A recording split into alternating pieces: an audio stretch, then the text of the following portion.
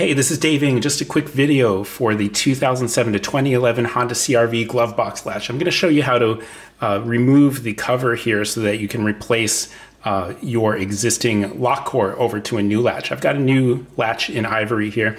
Uh, what you'll do is look for these three three clips. There's one here, one here, and there's one hiding right there.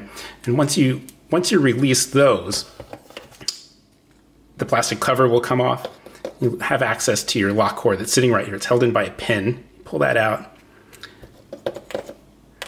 Your lock core will, will, will pull out there. You'll, and you'll have the ability to move it over to a new or a used latch.